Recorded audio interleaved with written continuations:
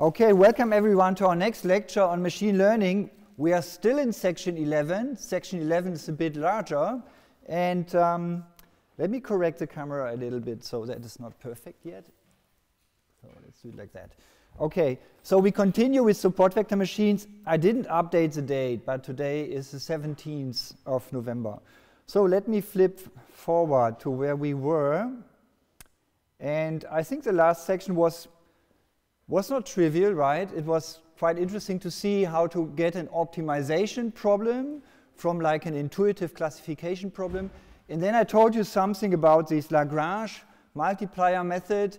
And I, I, I, tried to explain also why it works, and maybe that was a mistake because I wasn't very good at explaining it. So for that reason, again, today I will explain you another version of the method of Lagrange multiplier in a nutshell, where I will um, omit the stuff that's trying to explain why it works, and I'm just trying to explain you the essentials that you need to apply it, to use it yourself. Okay? So just simplified. Okay? And it's also simplified, that's good for me too. Okay? Then I also understand it much better. Good, so after that we will look at the linearly non-separable case. Yeah? Recall that for the formulation we assume that the data is separable in the sense that the two classes can be split by some by some area where there are no data points. Yeah? That was a simplifying assumption to come up with the optimization problem. Today we will see how we could get rid of this assumption. And then, since you like coding so much, I will do some coding for you too, hopefully. Yeah? So that's always fun. And uh, on the, other on the other hand, this is filling up quite a bit of time. So I guess we are not getting towards part three, the nonlinear case, yeah, but that's fine for today. If you understand everything today, that's perfect. So we will look at the linearly non-separable case, and it was an exercise to derive the dual for that case. However, I will do it in the lecture, okay, in detail, so you see how to do it. Again, as another example, and then in the exercises, there will be a derivation of a dual of yet another version of the support vector machine, okay? So that's maybe it's easier for you to see if you see another version of the derivation and then to do it yourself. Okay? Good. So far, so good. So let's get started. So let me again try to explain the method of Lagrange multiplier. And I basically got rid of a lot of the stuff that I explained to you last time where my knowledge is also a bit shaky. Okay, so I only tell you the stuff that I know. And also there are holes, yeah, which I will point out, okay? Maybe one of you knows it better who took a class in mathematical optimization. So again, nonlinear optimization with equality constraints. So that is the optimization problem, minimize some function where we have some side conditions, okay? So that is the setup. And this is one step more complicated than just minimizing a function f of w. So for minimizing a function f of w, you know you calculate the derivative, you set it to zero, and you solve for w, right? And now the idea of this Lagrangian method is that now you have equality constraints, and how can we now derive a problem where we have a similar setup, where we have, how can we get rid of the constraints so that we can apply our knowledge about setting the gradient to zero, okay? And that is the method of Lagrange multiplier. So, however, before doing that and deriving a dual problem, let me first mention option one for solving this problem, and that is plug it directly into a solver. So don't worry about all these Lagrangian dual and so on and so forth stuff. Just write down the optimization problem and match it against some codes that you have. Match it against quadprog, for example. And I will show you today how to do this for the um, separable case of the linear SVM. I will program it for you, how to plug it in directly into the solver. So that's option one. And now comes the more lengthy method of Lagrange multiplier, how to do it there. There, first of all, we transform this problem into an unconstrained problem, yeah, by defining the Lagrangian function. So, and what is the price to pay to get rid of the constraints here? We get new variables. So before we had an optimization problem in W, and now we have an optimization problem in W and beta. And even worse, so this optimization problem was minimizing in W, and this optimization problem is not really minimizing the whole thing, but it's minimizing in W and it's maximizing in beta. So in principle now we are looking for a saddle point, yeah, Sattelpunkt in German, okay, which is yeah, it is also something where we can apply our knowledge about derivatives, right? A saddle point also has derivative being equal to zero for both of them. But then to find out whether minimum and maximum, we would look at the Hessian. But it doesn't get this complicated for us, okay? So this is typically the first step if your task is to derive a dual formulation for an optimization problem. You write down the Lagrangian and you do it fully mechanically. For each equality constraint, you introduce a new variable beta i. Since they are indexed by i, I'm also indexing here my multipliers by i, okay? And you add these terms to it. And then there's some theory about it, why this is a good idea. And I don't tell you about it. There are probably experts on YouTube who can tell you much better why this is a good idea. However, practically how we go on now is, having written down this one, we can write out the dual problem in full generality, which is now this max-min thing. So in a way, this insight is a new objective function. However, it's one that is kind of funnily formulated, right? It has a, a minimum at the front. So it doesn't, it's not a closed form solution, it's an optimization problem itself. However, sometimes we can even eliminate the w in this expression yeah, by taking the derivative of the Lagrangian with respect to w and setting it to zero. And that's what we do for the support vector machine. For the support vector machine, we take the derivative of this guy with respect to w, we plug it back into this one, and then we have a closed form solution for this inner expression, which is marked blue here. And then we have a maximization problem in beta, okay? And that is our dual problem. So that is basically the two options. Either solve it directly or you derive the dual problem. And those two options are um, yeah, two possibilities where one of them might be easier or might have better properties. I have an overview slide which is comparing the two solutions for the SVM, and I give you some hints, okay, how, how to choose, which to solve. Good. After that, you also plug it into a solver, right? Once you have an expression for this, this, for this one here, for the blue one, yeah, then you can also just read off like the matrices and some vector and some stuff, and you plug it into quadprog. So this is the method of Lagrange multiplier. One step more general, let's assume there are also inequality constraints here, okay? And this is often also called the method of Lagrange multiplier. However, a bit more precise, or at least Wikipedia precises that this is the method of the KKT multiplier, which is a generalization of the Lagrange multiplier. So it's the same thing, but now additionally we have these inequality constraints here. And for those, we also need multipliers. Again, option one stays, right? So if we have some very powerful solver for setups like this, we plug it in into these methods. And possibly we need to provide code. We write a little Python function for f, we write a little Python function for g and for h, and then we pass these functions to the solver, and the solver will call it as it wants it. Or maybe it wants to have the gradient of these things, or maybe the Hessian, or whatever. Yeah, you've seen it in this interior point method last time, what might be required to implement. So let's look at option two. This is now completely analogous to the Lagrange multiplier, and sometimes these are also called Lagrange multipliers. So maybe I'm overdoing it here, but from Wikipedia it says those are the KKT multiplier. And who's KKT? That's Karush Kuhn Tucker. And um, it refers to the authors Kuhn and Tucker um, were the ones who were showing that this method, uh, were introducing the method, I think, in a paper from 1951.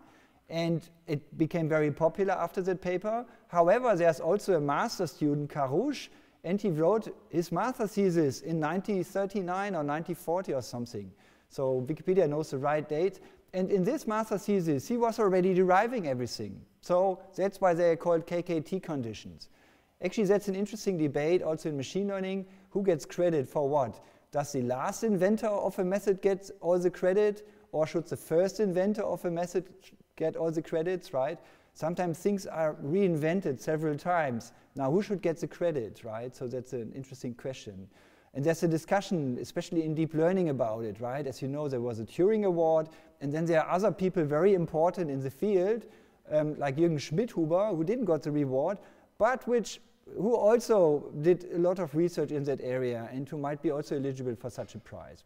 So Google the names and you find the ongoing debate here. Yeah, so, and I think the, the final thing is you should cite all the people who done the same stuff that you did before, right? And if your original paper got very famous and you didn't know about the other methods, but then later on you know about them, then please cite them later on, right? And be generous with giving credit to other people. It doesn't uh, lower your impact that you had on the field with your super influential paper. It's just important for the history of science to see where the ideas popped up, kind of, right? And who was first, right? Nonetheless, if you come second and you reinvented it, that's also a great contribution, no question about it. Good, anyway, so that's the KKT, where the KKT comes from. So there's a little story behind it. Um, so basically it's the same as before, like the Lagrangian function. Now we have the generalized Lagrangian function, where we now introduced further multipliers for the inequality constraints here as well. And basically now here we have a plus sign as well. That's where we need to be careful with these inequalities. We have a plus sign over here if we have here the less than or equal to zero, which looks a bit unnatural to be less than or equal to zero, right?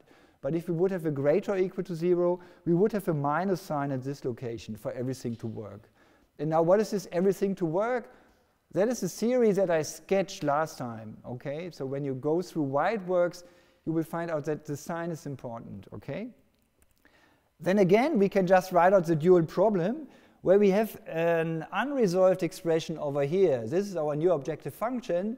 And if we can get a nice expression for Z1 for this minimization problem, then we are fine and we can just plug it into a solver. And to get this nice expression, what you do, again, you calculate the derivative of the Lagrangian with respect to the w, which are your primal variables. So if you have several primal variables, you have to take the derivative with all the primal variables, set it to zero, and then you plug it back into the Lagrangian. Okay? And then you get rid of this min w. And this is the more general method, sometimes also called method of Lagrange multiplier. Okay? And this is now a very powerful tool to have in, in, your, in your toolbox, right? First of all, the first powerful tool is to know that this is a very important problem for numerical people, and they have nice solutions to that. It's like having whatever quicksort as a library function. You have a library function for solving something sophisticated like that.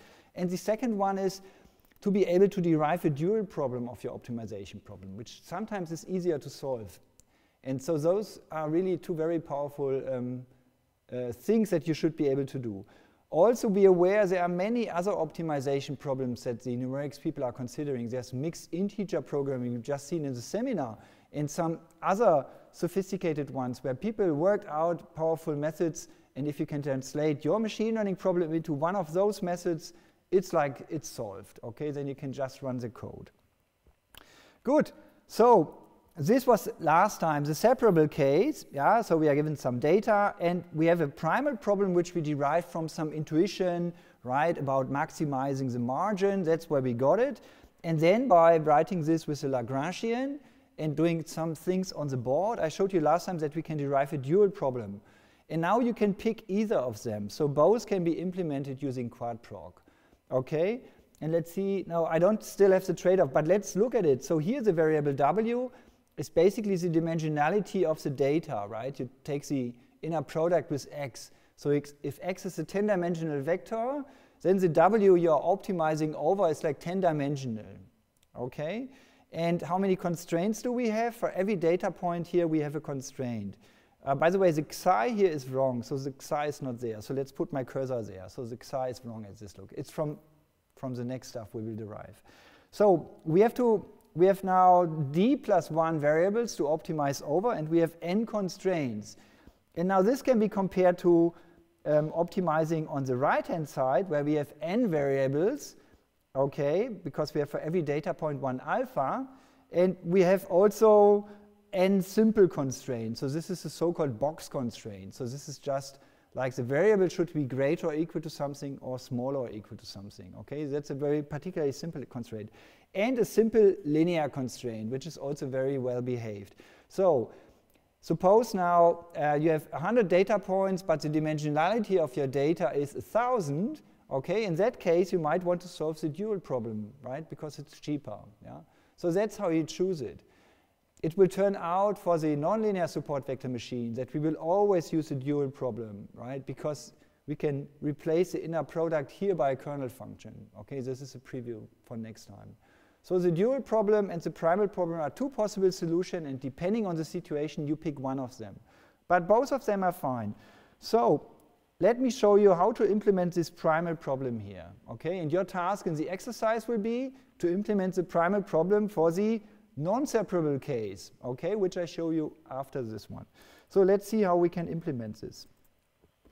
So again, this is the, um, the code from last time, um, and there should be some something missing in here. So let's see where we are. Um, down here.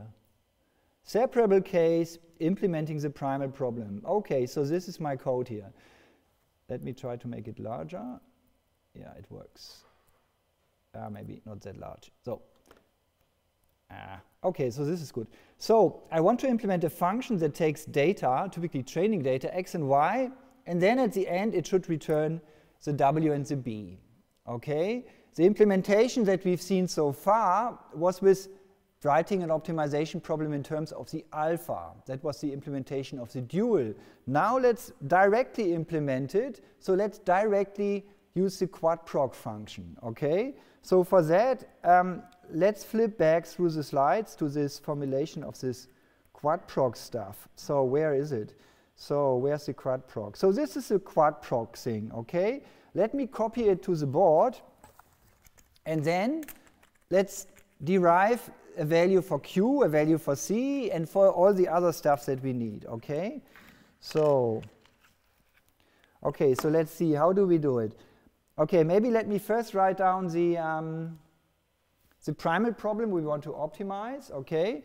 So the primal problem we want to optimize is um, minimize over W and B, and we are minimizing a half the norm of W, which I write like this, okay, plus nothing, and subject to, that all constraints should be fulfilled, so all data should be classified correctly, which corresponds to inner product of my data point with my weight vector plus offset, and then I use a trick with putting the label in front, so that I say this should be always greater or equal to 1, okay?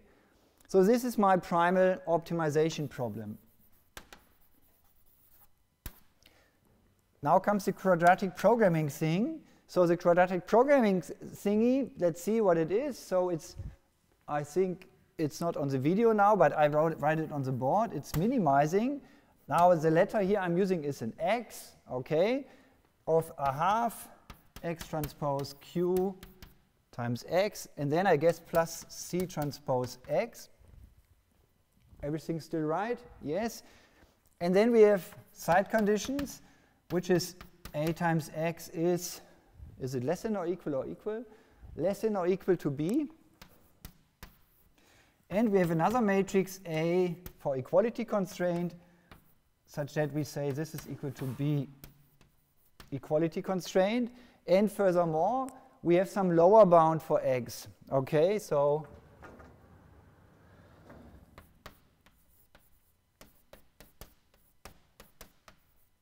Okay, so that is the setup, basically, of the quadprog function. And now we just need to match this thing into that one, okay?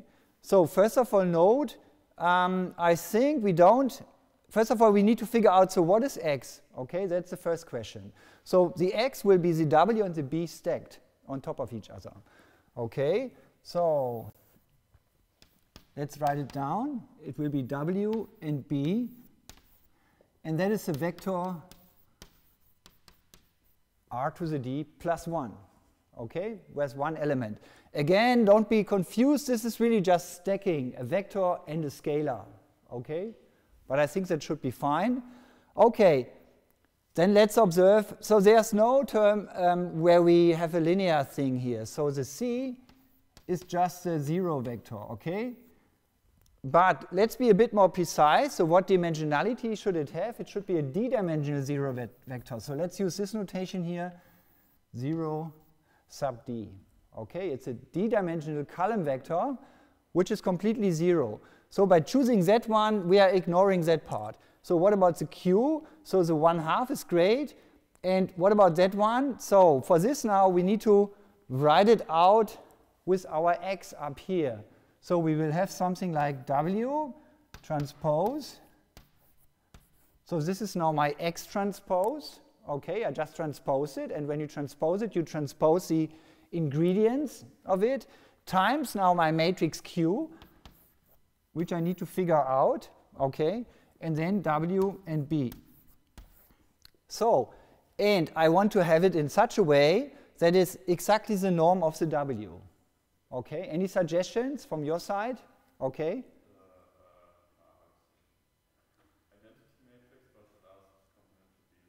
Very good. Okay, so the short way to write it would be identity matrix. Then here's a 0, and here's a 0 of dimensionality d. Okay, where this is a transpose 0 vector, right? It should be a, a, a vector of rows. And in the corner, we also have a 0. Let's write this out, okay? So that is the implementation already. Very good. So we can use that one for the implementation. So where's my eraser here? I don't have one. Okay. Another way to write it would be 1 dot dot dot 1 and then there's a 0. And then the rest is 0 and the off-diagonal ones are 0. So now and if you look at it, what's happening here is basically the W terms, they get, they get exposed to the ones and the B term has in its row and in its column basically only 0. So that thing is ignored. Okay.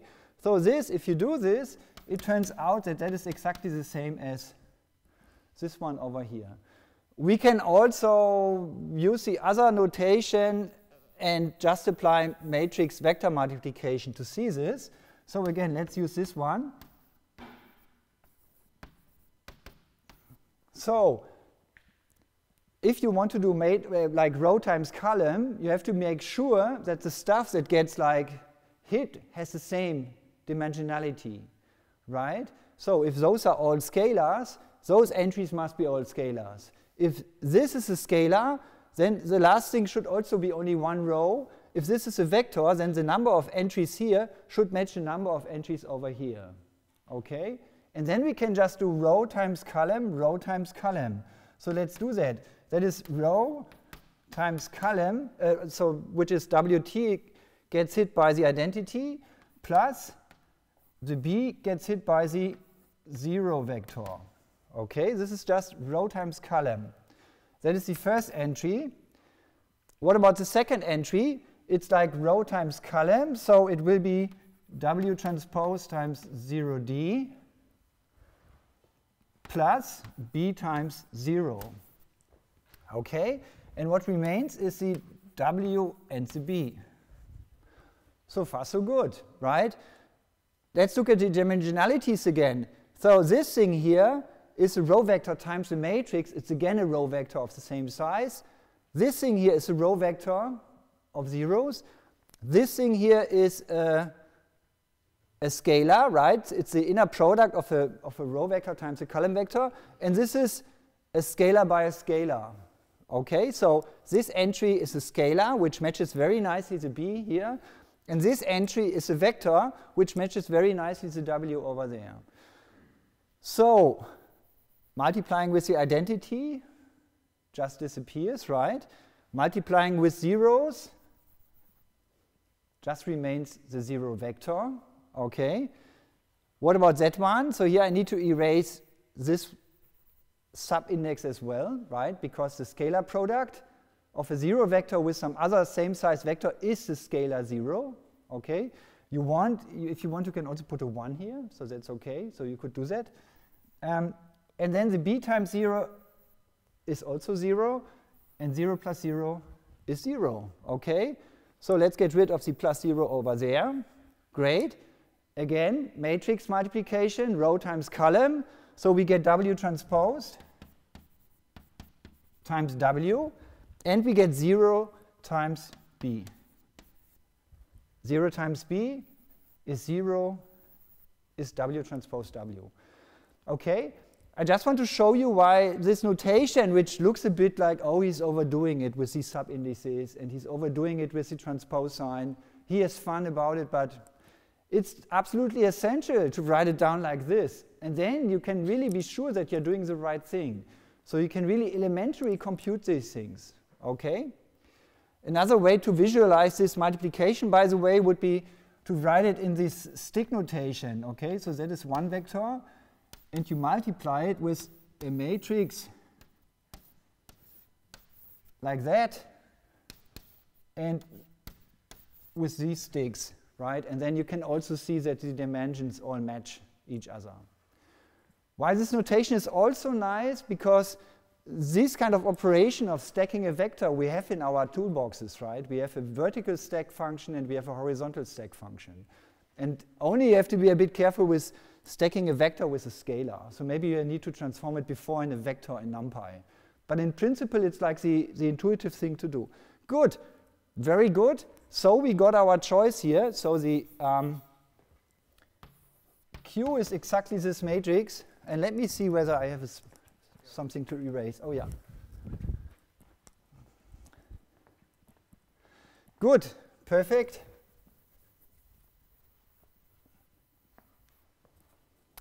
So let's move on. So we described that already with the Q and the C. Next, um, we don't have any equality constraints.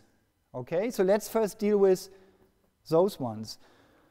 So the equality constraint, so how does it work? So basically the input is a vector, and then the number of rows of A is telling us how many equality constraints we have. Okay? So if we have one equality constraint, the A sub EQ would be a row vector. Okay? And then the row vector gets multiplied with the X, and out comes a scalar.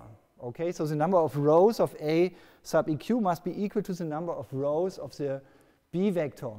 That means if we don't have any, yeah, then let's assign the A sub EQ just some vector. So in um, PyTorch, I think it would be zeros, or not PyTorch, I mean NumPy, it would be zeros where I'm now saying I have zero rows, okay? And let's be precise, how many columns do I need? I need as many columns as there are entries in the X, so it's a 0 times d plus 1 matrix. Okay? And actually this object exists in NumPy. So you can, you can create it and it will have the right shape and you can use it in a multiplication like that. And the output will be a vector of length 0, okay, which is, which is nice so that you can do it.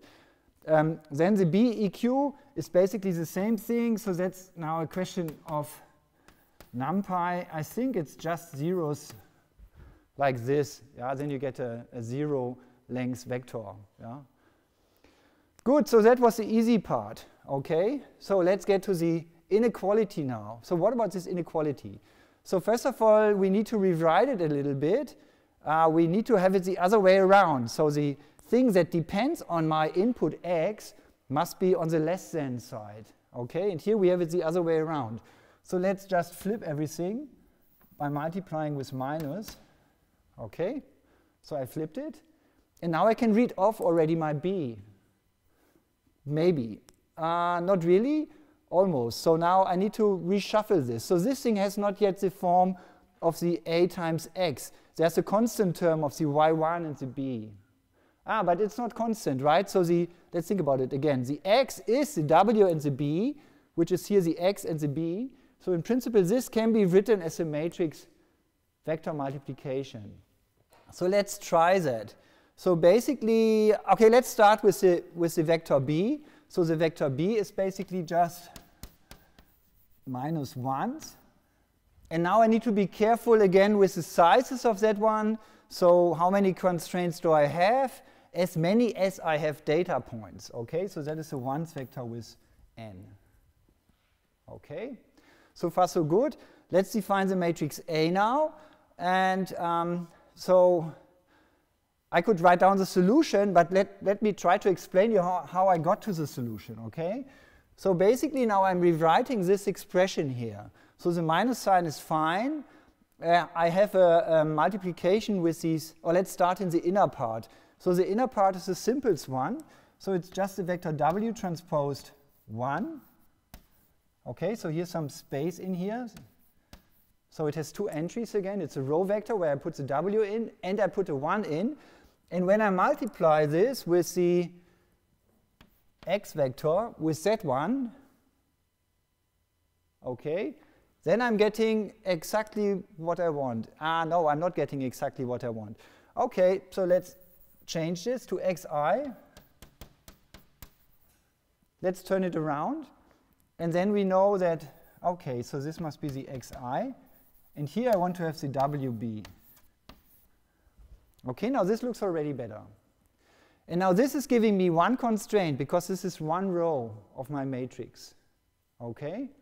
So if I multiply z1 times z1, I will get this expression in here.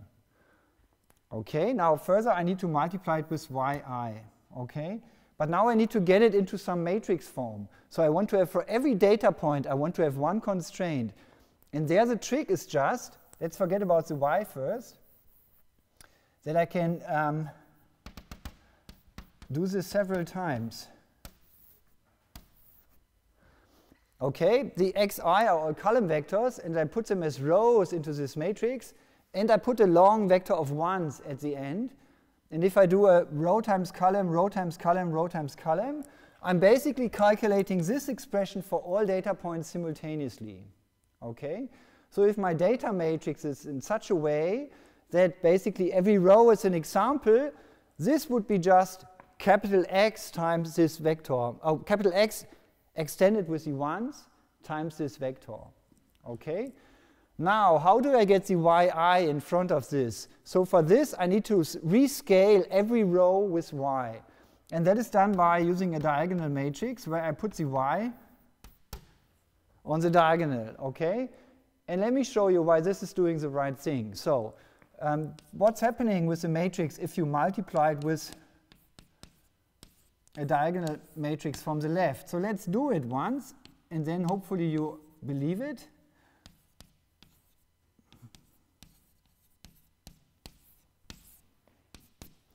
So if I'm doing row times column, yeah, then I'm getting lambda 1, a1, 1.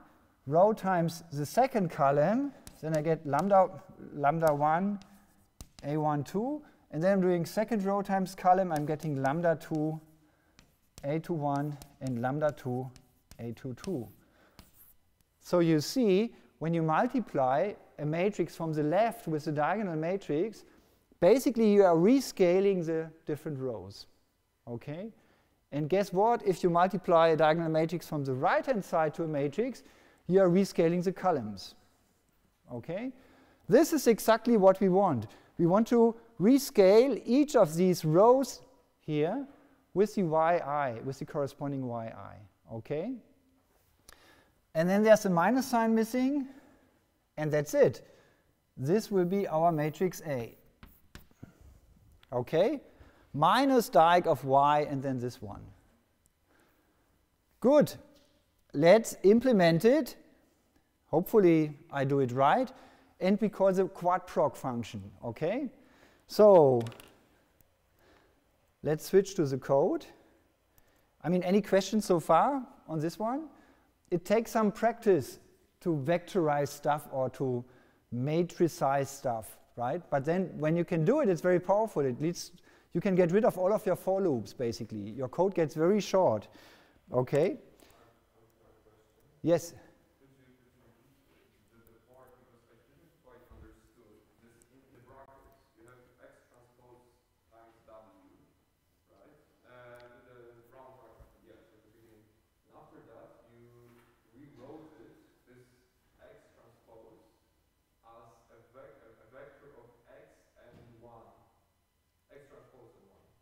Yeah. so, like, ah, okay.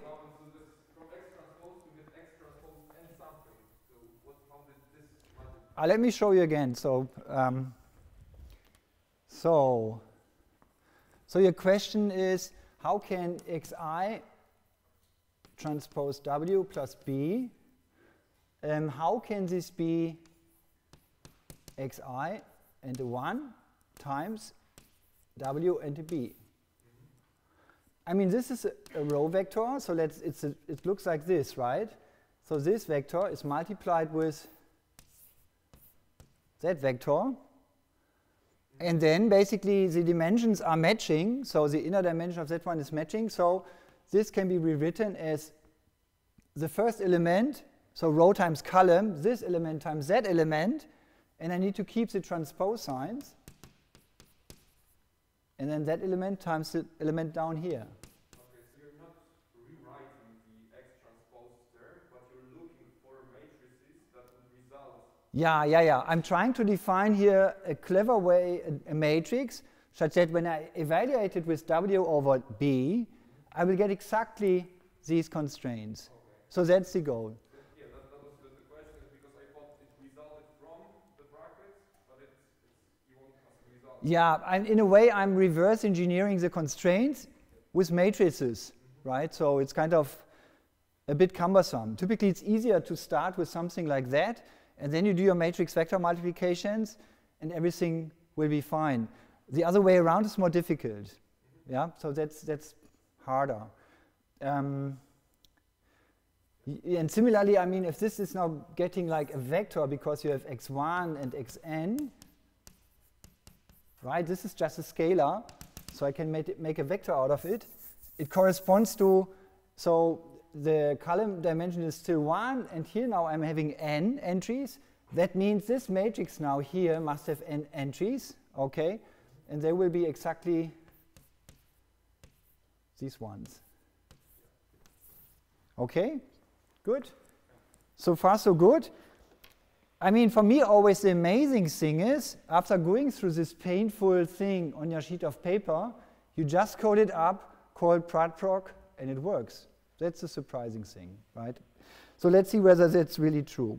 Okay, so we need to define a couple of matrices. So we need to define our matrix Q, okay? Where Q is basically the I matrix, but of size d plus 1. Okay? However, the last element, which is the element d, comma d, must be set to 0. Okay, I take the identity matrix one step larger and I zero the corner element. Hopefully this is valid NumPy code now here. Then I need the C, and the C is just zeros of 0, comma d. Ah, okay, so we need this dimensionality stuff. So what is the d? So that's basically x shape. So the x that gets fed into this code here, when you look through the notebook, it is like that that you have for every data point a row. And so the dimensionality is the number of columns. Okay, so it's x shape 2, uh, x shape 1. And the number of data points, so I, I like this notation here, is um, x shape 0. There might be even a better way to write it, but this is like very easy to understand. Okay, so n times d, it's x is an n times d matrix. And then I can use the d over here, I can use the d over there, and I can also use it for the c. So what else do I need? I need the AEQ and the BEQ. However, let's look at the implementation up here of my quadprog. Uh, the scrolling I need to practice a bit. So where's my quadprog implementation? I think I did it for convenience. That's the default choices. So that is the quadprog. And this is the call. And so if you don't give it a variable, okay, you can give it named variables here. And if you don't give it, it will get exactly initialized in the right manner. Okay, so the stuff that I don't want, I can just omit. Okay, perfect.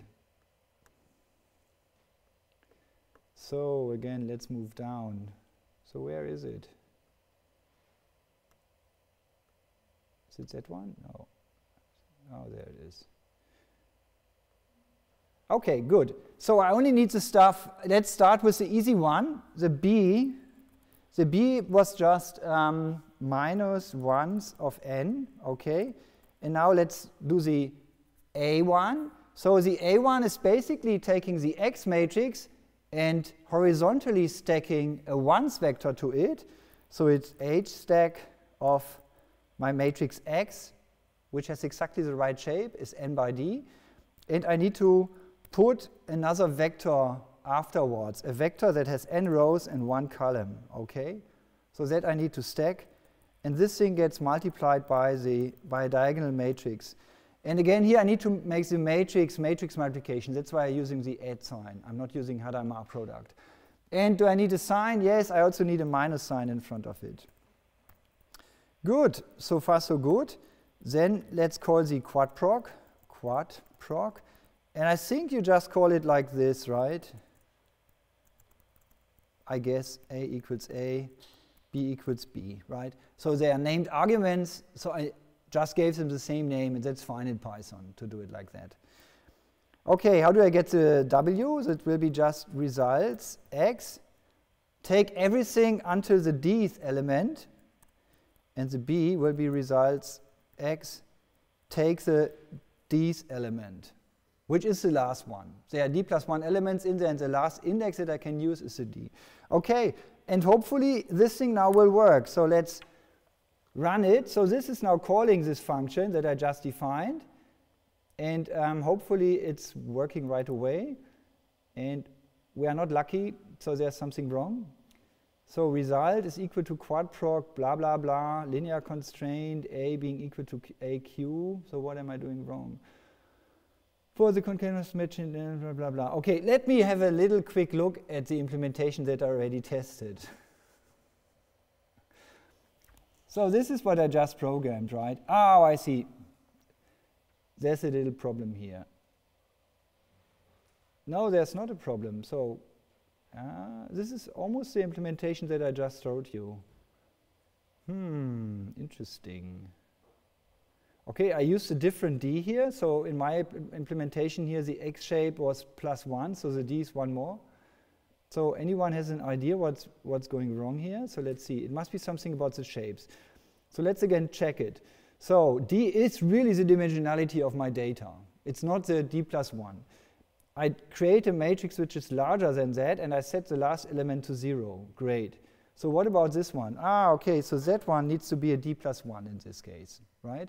Because the C is multiplied with W stacked on top of the B. And the W has size D, but the C must have one dimension more. Okay? So let's try it again. Value error, great. So what else is wrong? All the input array dimensions for the concatenation axis must match exactly, but along the array blah is size 4 and the inner size 0. Very bad, okay. So I'm just showing you my struggles here because those will be your struggles when you are doing it at home, okay? And so it's completely normal to get it wrong and to play around with it. So what's wrong? By the way, you are, of course, free to help me. Um, let's get rid of the C guy. Uh, but I think I had it. Uh, shall we keep it? Okay, let's keep it. Okay, let's then do the following. The way I debug this typically is that I just print out everything. So let's print out these guys and let's see. So this looks like something reasonable. The A is, is giving me some nice constraint set. So no insights from that one. Ah, okay, so let's again look at the, at the error message, whether we can understand it.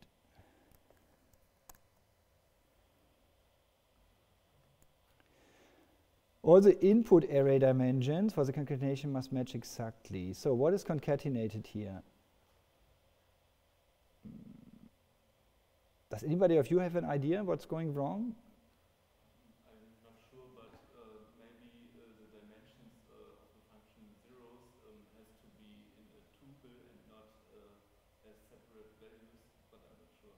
Which one? Where do you mean? So where's the? Line five. Um, maybe if you uh, have double brackets, so uh, plus one is tuple. Good point. I don't know if, if it's correct, but. Uh, ah no, I have my own version. I changed it so that it's that it's allowed to do that. But good point. That that would would have been a possibility. So what am I doing wrong here? So ah okay, maybe the um, the C vector I see, so the C vector must be maybe a column vector. So maybe that was a, that is a mistake. Since I'm doing C transpose times X, right? So let's hope for the best. Type error. Oh no. Must return a scalar. Uh-huh, interesting. Ah, okay. So maybe then I need to do it, let's do it like that. Maybe that makes more sense. Okay, so name error, oh no. Results not defined. Okay, that's good. So that's already something. So we went through the quadprog stuff. And we got an accuracy of 1.0, and we got three support vectors, and the whole thing just runs. Perfect. So this is the solution. Great. Okay, I'm happy that it worked out, that we didn't spend the rest of the time trying to debug it. Okay, so by the way, what I wanted to show you here is basically how to get the implementation from the mass. Okay, so how to translate the optimization problem into the quadprog formulation, how to translate that into matrices in NumPy, okay, and then you just plug everything in, and you need to struggle a little bit with the error messages until you get it right. So you need to print out all the intermediate results, or you have to go into quadprog and do some prints until you get the right format, okay? Good. I'm glad it worked. So, okay, so let's move on then. So that took quite a while, but whatever, I think we learned something. So I just showed you how to implement the primal problem. And last time I showed you without live programming how to implement the dual problem. It took me longer than today, okay, last time. Good, so far so good. Um, let's move on. So we were still in this theoretical part, and we are, we are still missing the KKT conditions, which are important. So let me get to that one. But so the KKT conditions are the Karush-Kuhn-Tucker conditions, okay? But before we get to them, let me briefly explain you what convexity is, okay? And convexity is a property of a function. Yeah, a function f from the reals to the reals is convex, kind of if like the functional value along a straight line can be bounded by the values at the corners, okay? This is most easily understood with an image. So here's the image for the convexity definition. Um, let me erase that one.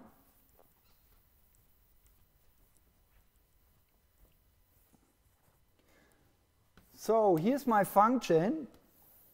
Let's take this one, and I take two points at x1 and x2. Then I will have certain functional values, right? So those are f of x1, and I have over here f of x2. And now I take some parameter lambda, which is between 1 and 0, and I'm interpolating on the x-axis between x1 and x2, right, by talking about x1 times lambda plus 1 minus lambda times x2. This is also called a convex combination of two numbers or of two vectors, okay? So basically, by now turning around the lambda, I can move along the x-axis back and forth. Convexity means that the function value that I will reach here, yeah, this one, is smaller than the function value that I would reach by just interpolating between the functional values, okay, by saying, so the functional value up here, so that is lambda times f of x1 plus 1 minus lambda times f of x2. Okay? And so basically by having this inequality, yeah, I'm having like this nice bowl-shaped function. So why convexity is a nice property? Oh, because if I have a local optimum, yeah, one can see that it's already a global optimum. So that's some nice property for optimization. So another notion is concavity, which is just if minus f is convex, then f is concave. Okay, it's just the opposite. Curiously, convexity is very similar to linearity, right? I mean, this, is, this looks like the equation for a linearity. If you have equality in here, then a function f would be linear. So that means if a function f is convex and concave, it must be linear, okay, which is kind of curious. So convexity can be seen like a generalization or a relaxation of linearity, okay? Um, and then there's also Jensen's inequality, which we need at some point. So for convex functions, we can drag out the function that we apply to a random variable, okay? And then we get this inequality, and one can derive it from this property. The other notion is the area above a convex function, okay? So all the area above this bowl, so basically the content of the bowl, that is also a convex set, where a convex set is a set where you, if you take two points of the set, then the straight line between the two points is also inside the set, okay? So this is a short introduction to convexity. So for us optimizers, Convexity is a nice property because it tells us something about optima, right? So if we have a local optimum, which we might reach by gradient descent or whatever, yeah, then we have a global optimum. So one phrase which was like 20 years ago, maybe it wasn't popular, but it's, it's a phrase about optimization. So we don't care whether a function is nonlinear, yeah? we only care whether it's convex. Okay? So when we do optimization, the function can be as nonlinear as it wants, at least if we can prove convexity, everything is fine. Which is a very strong statement in a way, right? Otherwise you would think maybe, okay, I can maybe minimize parabolas or maybe some other nicely shaped functions, right? And the key property here is convexity. It's not whether it's linear or nonlinear, it's about convexity. So I like that one. So if all our functions f and g are convex, and the hi is even something stronger, so the hi is a linear function or a shifted linear function. Shifted linear means can be represented by a matrix and some offset, okay? In that case, we have a strong theorem, which I think, it's not mathematically precise how I write it down, but intuitive. So if I have like an optimal point, W star, alpha star, beta star, yeah, for my Lagrangian here with optimality kind of meaning it's a saddle point, okay? Then we have all these conditions which look like, oh, so many stuff to memorize, but it's all, you all have seen it. So the first one is just the derivatives with respect to the primary variable should be equal to zero. Okay, great.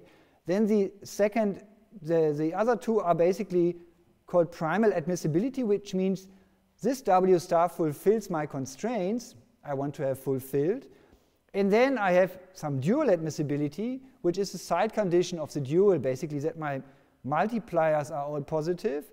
And then the only one which is kind of most interesting is the so-called complementary slackness, which is kind of saying that this alpha times my constraint here for the inequality z is equal to zero. And that is the one that we use to get a formula for the offset in the support vector machine. Because then we reason okay, this equation is fulfilled if alpha i is equal to 0. Yeah, those are the non-interesting points. Or if alpha i is greater than 0, then the gi must be equal to 0. And then from that you can derive a formula for the b, as we will see again today. Good, so those are the KKT conditions. The last one is the most important one for us. Let's get back to the support vector machine. Let's get to the unseparable case. So that was our optimization problem. How can we now relax it? So the non-separable case means some of the constraints will be violated and there's no choice for a separating hyperplane such that all constraints are fulfilled simultaneously. So there's no so-called feasible solution, which is one that fulfills all constraints. Okay? So how can we relax that? And the relaxation works like this. We introduce more variables, the so-called slack variables and they are called xi, and they should be greater or equal to 0, and we just subtract it from this margin number. So instead of being greater or equal to 1, we say, okay, we allow a few exception. Okay, if it's not too expensive, if we have small xi, then that's fine. So what about this being small? So we simultaneously minimize the summation over all xi i. So ideally, all xi i are 0. Okay, then we have a separable problem. However, we are willing to pay some, okay? Of course, now we need a new hyperparameter that trades off the minimization of the norm of W and the summation over here.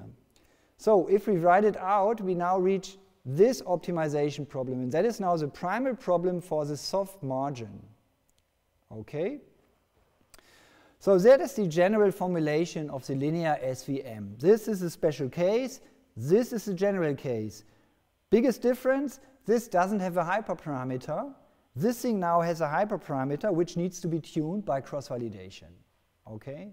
So um, it looks more complicated than that one, and your task will be to do exactly what I did on the board, yeah? implement the primal problem with quadprog. Okay? So you need to come up with these matrices to translate it into a quadprog formulation. What will we do next now is that we derive the dual of this beast and look at it. And this I will show you in the lecture. It was an exercise, but I thought maybe you need more practice. And then the exercise will be another formulation of the support vector machine, the so-called nu SVM, okay, which is also fancy. And the level of difficulty is quite similar. And you can use many tricks from the lecture now.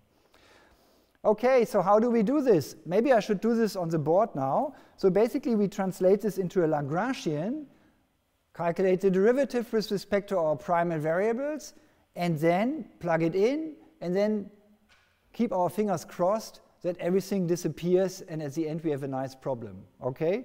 So, by the way, the minimization now is over WB and now some new kit on the block, the psi vector. So we have more variables than before. So let's move on to the board. Let's hope for the best that I can do it in the remaining time. And I think I need more chalk. So, okay, it's already visible.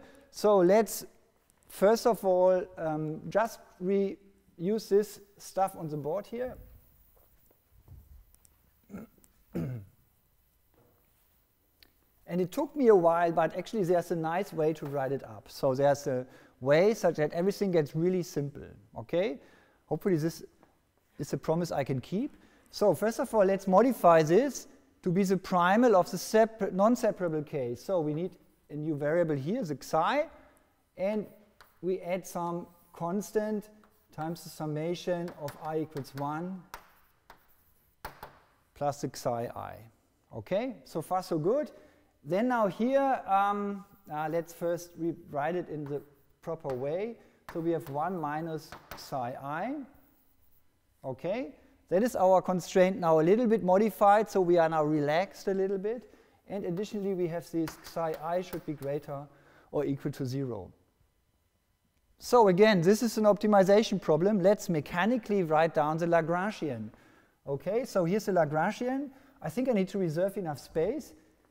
Is it visible on the screen? Will it be on the video if I start over here? Yeah, okay. So here's a nice L. I need to plug in all the variables. So those are the primal variables.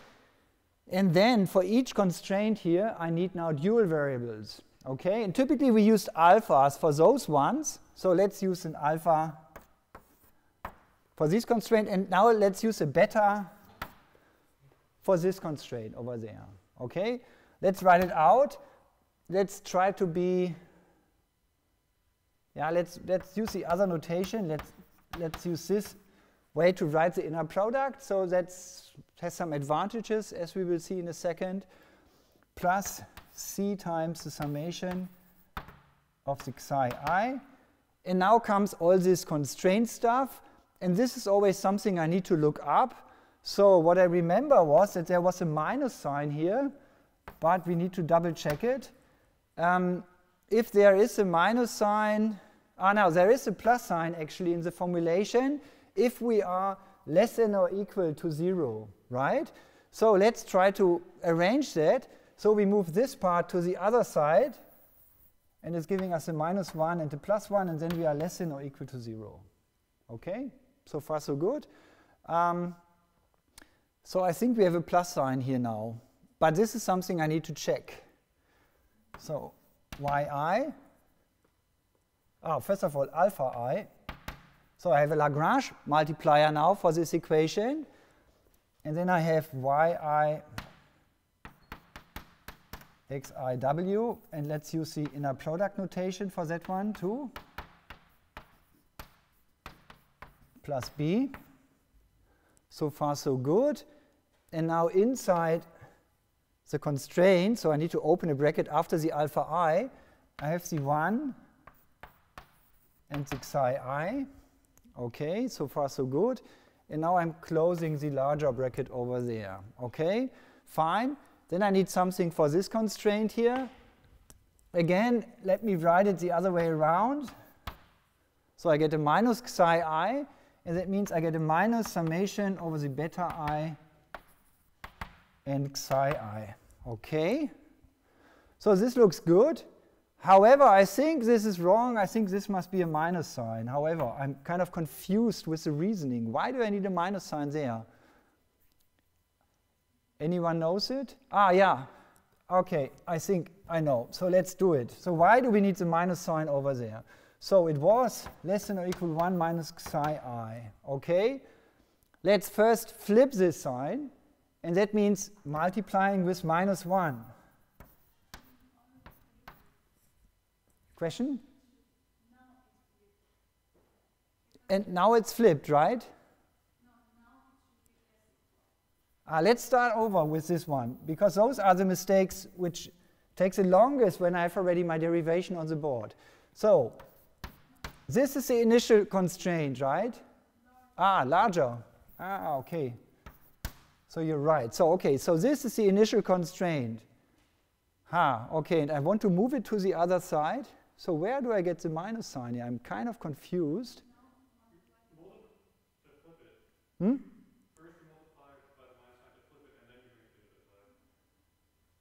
I flip it with a minus sign now.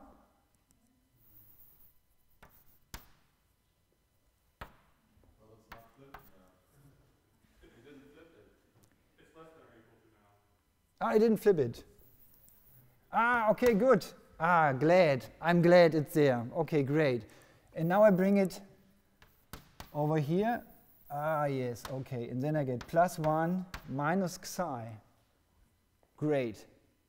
So, those are the things where you will do mistakes when you do a derivation, okay? So be aware of these steps. Okay, now it's fine, right? So this minus sign is the minus sign over there, then the minus and the minus in front of the 1 is giving me a plus, and the minus and the plus in front of the xi is giving me a xi. Great. It's always good to watch it with enough eyes. And now to calculate the derivative, let's first reshuffle the whole stuff a bit. So we do already some pre-work to make our work super simple. Yeah. So for this, notice that here we have this expression here, the summation yeah, basically a summation of some inner products. So it's like a linear combination of lots of inner products. So we can drag in the yi into the inner product. I can also drag in the alpha i into the inner product. I can even drag in the summation sign into the inner product. Okay, so let's rewrite this. So this is a half w transposed uh, ww, and then comes the minus inner product of the summation of alpha i, yi, and uh, xi comma w. Okay. And now I just need to make sure that I'm dealing with all the other terms. So basically, this thing is not already dealt with. Okay? However, there's still alpha i, yi times this stuff and alpha times that stuff I haven't dealt with. I only dragged in the summation into the inner product. Let's move on with the xi and let's collect all terms for the xi. So the xi has the following terms. So I have a summation over c times xi. What else do I have? I have a minus alpha in front of xi and I have a minus beta in front of the xi. Okay, and by this I got rid of that term, of that one back here, and of this term over there. Okay? Let's do the same for the b. So I get minus summation alpha i yi times b. And this is getting rid of this term. Finally, there's a 1 in here which I need to deal, deal with, and that will be plus summation alpha i. Okay, why did I do it? Because I'm now interested in the derivative of the whole expression with respect to b. And of course, this is a linear function in b, right? So the derivative is this guy here. So it's very simple to read off. In particular, I see when I set this derivative to 0, the b disappears from my Lagrangian. Now the same thing for the xi. The derivative of the xi i thing will be c minus alpha i minus b i. So that is the derivative of the Lagrangian with respect to xi i. Again, setting this derivative to 0, this term will disappear as well, okay, which is nice. Then there's a derivative with respect to w, and this is a squared function. So let's do that. So it, let's write it like a gradient style, so of L. So that will be um, basically the derivative of this thing here will be w right? So it's like w squared, but it's in w. Right? It's just the derivative of this thing, and you can derive it that it will be just a w. and the derivative of z1 over there will be just the first entry of my inner product. Yeah, if you have an inner product, a b, and you calculate the gradient with respect to w, it will be a. Okay? So what I get here is minus summation over the i, alpha i, yi, and xi. So if I set that equal to 0, I see I get exactly the same expression like last time. The w is the weighted sum of my training examples. Okay? So that is the first derivative. The second derivative being equal to 0 is z1. So let's write this one down up here. So we have c minus alpha i minus beta i is equal to 0. Um, then we have the summation of the alpha i, yi being equal to 0. And now, and we have the w being equal to the summation of the alpha i, yi, xi. Okay, those are the three derivatives set to 0. If we now plug it back into the Lagrangian, into this form, first of all notice this thing stays, okay? So we will then get a, a problem, uh, the Lagrangian summation over the alpha i. This one will remain. This term disappears because this is exactly 0. This thing disappears because the factor is exactly 0. And then we have these two kind of ugly terms, but they are not that ugly because we found out that the w is exactly the summation. Yeah, so what we see is w times w minus w times w. Okay, so this is a half this inner product minus once this inner product. So it is just plus a half uh, no, minus a half the inner product. So it will be just minus a half the inner product, okay? This is now a big time saver to write it like this. Of course, I can write it out, the inner product, which gives me the double summation. Alpha i, alpha j, yi, yj, and then comes the inner product of xi and xj. Okay? And there we have it. We got rid of our primal variables, which is quite nice. We used already this constraint, so let's forget about it. This thing is a side condition which stays, right? I mean, we had it before as well. What else do we have? We have alpha i is greater than 0, right? It's a Lagrange multiplier. Additionally, we now have this weird thing up here. This thing is new. This is coming from the slack variables, okay? So let's rewrite it. So let's bring the beta to the other side. Then we have c minus alpha i is equal to beta i. And let's see whether we can get rid of the beta i, okay? So we know the beta i is also a Lagrange multiplier. So the beta i is greater or equal to 0, okay? So we know that c minus alpha is greater or equal to 0. So that implies c is greater or equal to alpha i. Okay? Great. So we get this. And this is the dual formulation for the separable case.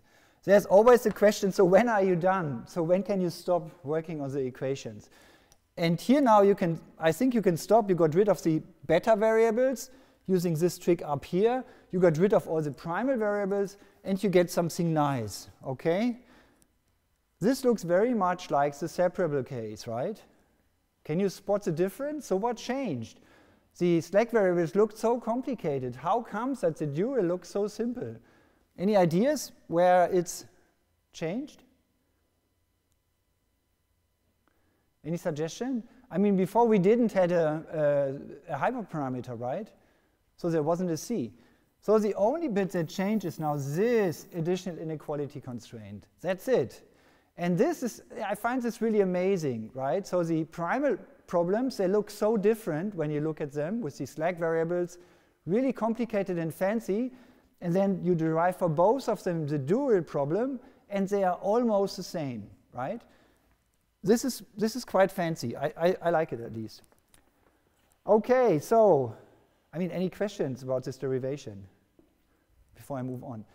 So you also will have to do a derivation like this for the nu support vector machine, yeah, where nu means the letter nu. SVM. and um, again, why was this calculation so simple, right? It can be a, a big mess because write down the Lagrangian and then sort the terms according to your primal variables. That's the trick. At this step, it's really simple kind of to figure out which coefficients are in front of the psi i, which coefficients are in front of the b, which coefficients are of yet other variables that are in the nu SVM. There's another variable called rho. And then the derivative of this guy gets really simple because it's just a linear function of psi i. Yeah? Everything gets then very simple. The other thing is not to out multiply this too early, but to keep it written like that, because then you can also just read off the derivatives and you can just plug in the solution. And the same will happen for the nu SVM, but there's one twist, okay? Which you will figure out. Okay, and then you have this thing with eliminating the beta. So that was like the, the extra cherry on top of the cake, okay? Good, so I wrote it up also in the slides here. So here's basically the same trick written out for you.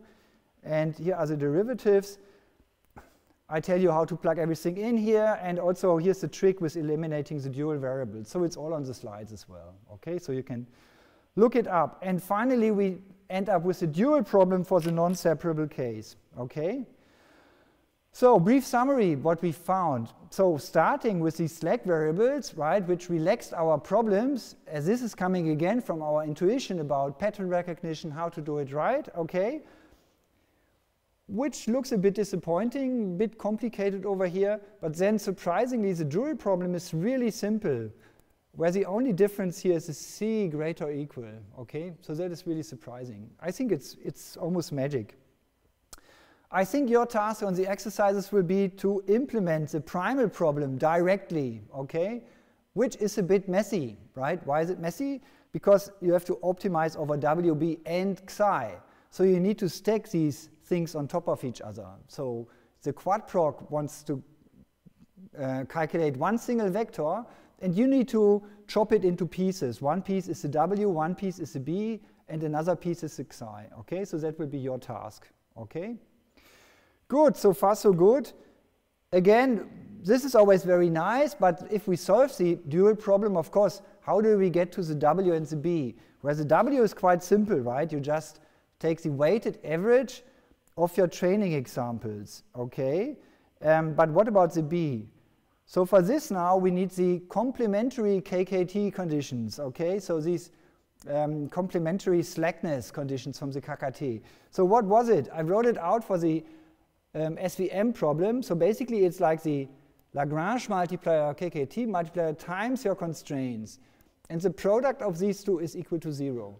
And this statement typically says either this thing is, this, the, the, the blue stuff here is kind of greater than zero, or less than, really less than zero, and then the alpha i must be equal to zero, or if the alpha i is larger, yeah, then the other thing must be equal to zero. Okay, and this is always the same from where you then can derive a formula for the b. However, now it's a bit more complicated since we also have the xi here, right? So there are some individual xi's. So we need to very carefully select now the support vectors that are used for calculating the B.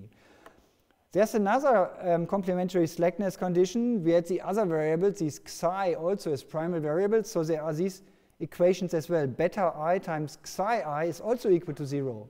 So let's remove the beta by plugging in c minus alpha for it, and then we get something to work with. So case distinction, those are the interesting ones. Okay, let's look at it, why these are the interesting ones. So if alpha i is between 0 and c, so not the extreme, not at the bound constraints, but some, somewhere in between. Because then c minus alpha being equal to 0 will imply that the psi must be equal to 0 because c minus alpha is not equal to 0. Okay? So we know psi i is equal to 0, which is great, because we can plug it into this condition up here. So this expression must be equal to 0 because the alpha i is greater than 0, then this must be equal to 0, and we know the psi i is equal to 0. Yeah? So for that reason we know that under the condition that the alpha i is between 0 and c, we have exactly hit the boundary condition here. So we exactly hit the 1 in here. Okay? And that's great because we can use it to calculate the offset b. So calculating the offset means collect all support vectors where the alpha i is less than c, and then you can average the b for them.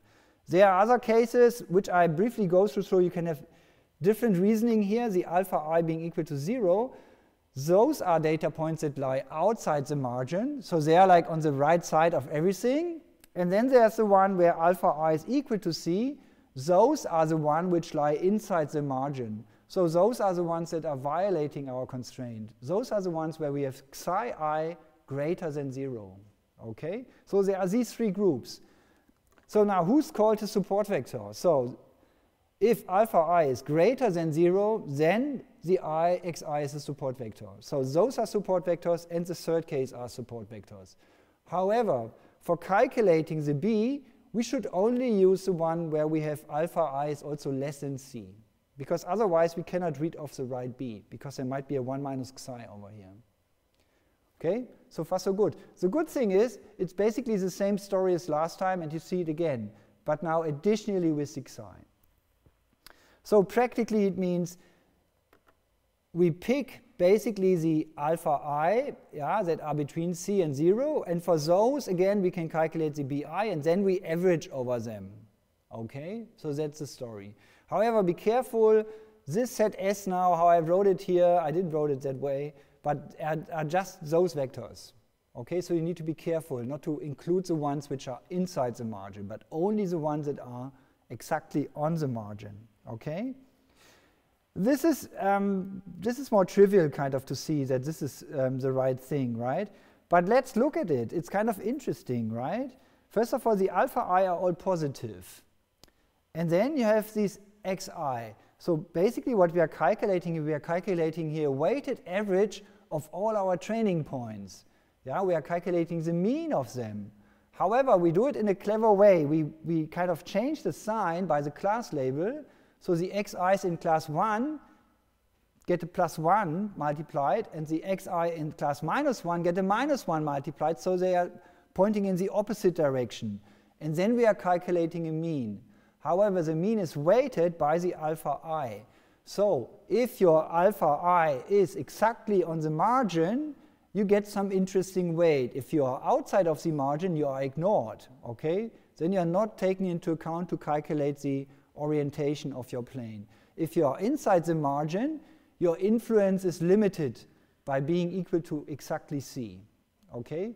So the examples which are outliers, which are violating the constraints, their influence is limited so in a way, this is a robust estimation of this plane here because you are limiting the influence of outliers and you are only using the ones that are kind of right on the margin.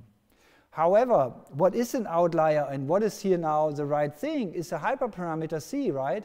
I can take a small c, then I'm not allowing, or then I'm allowing a lot of slack, or I can take a very large c, then I'm not allowing very much slack. Okay, so that's a trade-off.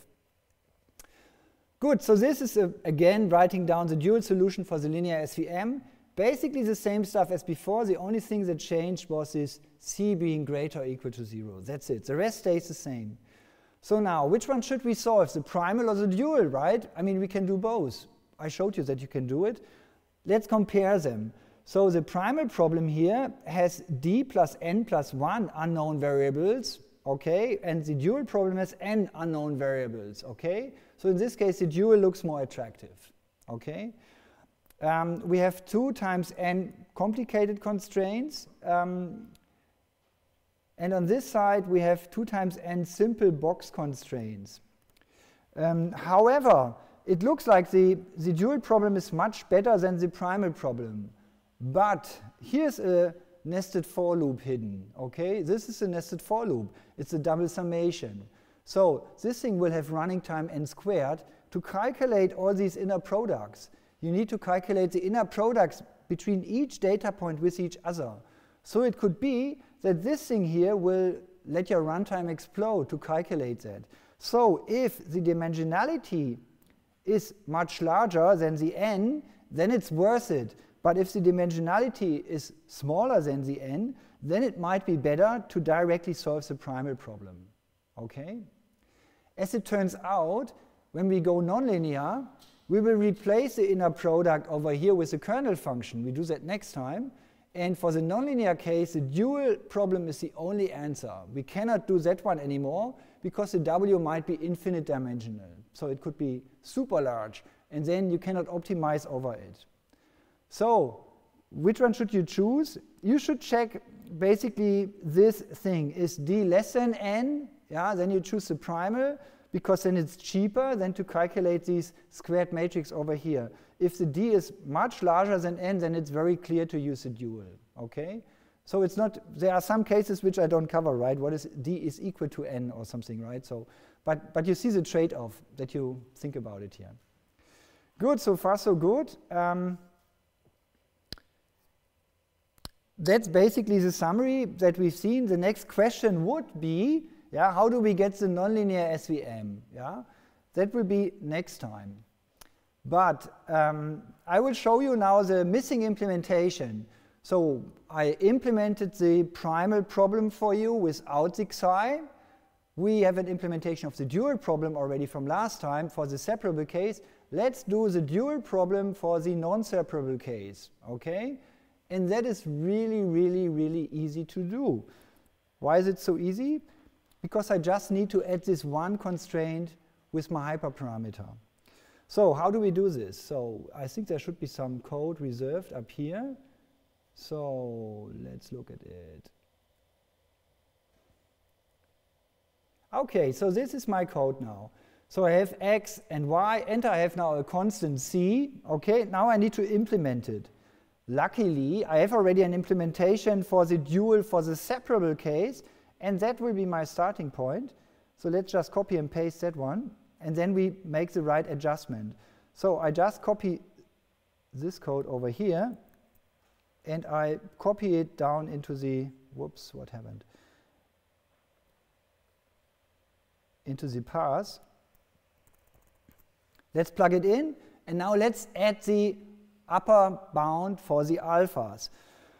So here's the lower bound, right, which is the lower bound for my um, variables that I'm optimizing. The variables of my quadprog, they will be read out and they are exactly the alpha. So the result.x of the quadprog is exactly the alpha that I'm looking for.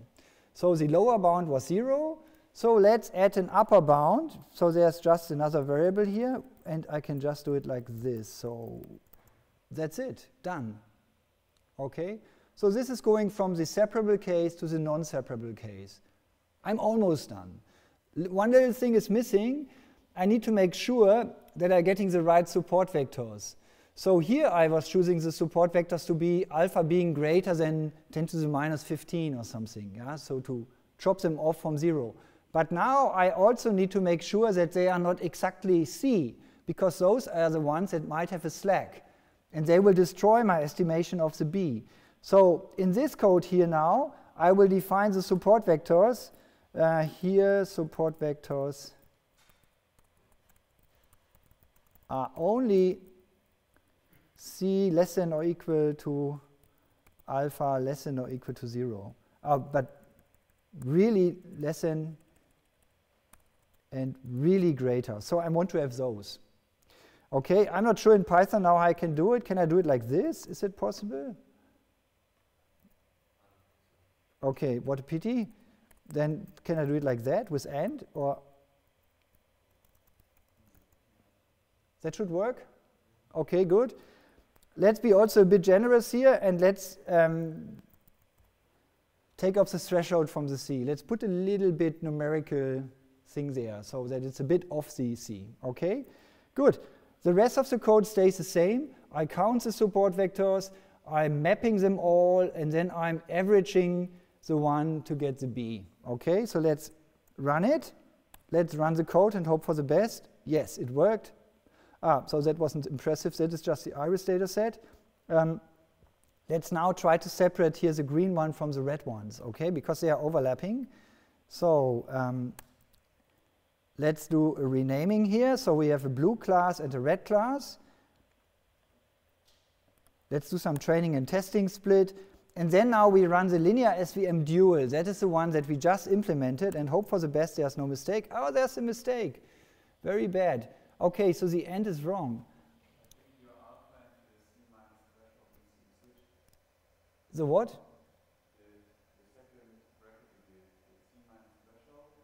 Ah,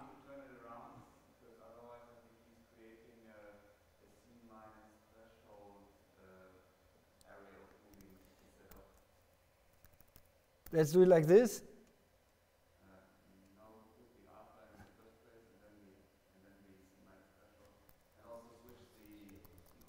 So you say like this? Okay, let's let's hope for the best.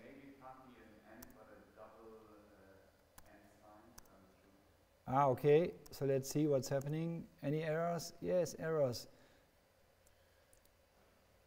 The truth value of double arrows, okay, so let's try to get this fixed. Maybe I should have practiced this beforehand. I thought it's so simple. You mean like this? Hmm. Uh, let's, before I'm, I'm overdoing it here, okay, it doesn't know it. I have two minutes. Okay, so let me generate a random vector which I call C, rand n, and it's 5 times 1. Okay, fine.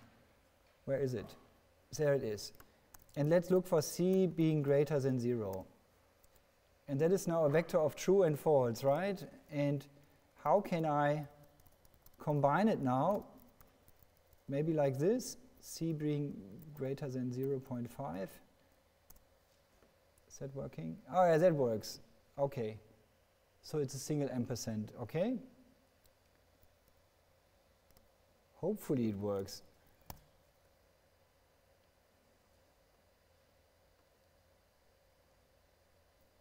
Okay, let's run it. And did it something? Yes, it did something, and it did something wrong. Okay, great. My implementation is kind of garbage. Okay, what a pity. Okay, again, I of course have done it before. So uh, here's my implementation of the dual. So I got this one right, right? C times once, that's okay, and I ignored the other one. Okay, fine. So maybe I should just ignore it for now so that we get a result. And then we need to figure it out later, how to do the um, implementation correctly.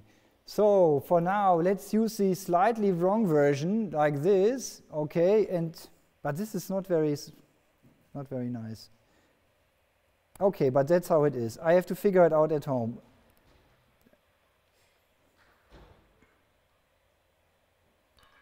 That's a bit disappointing, but we get a good solution. So this one looks at least quite good.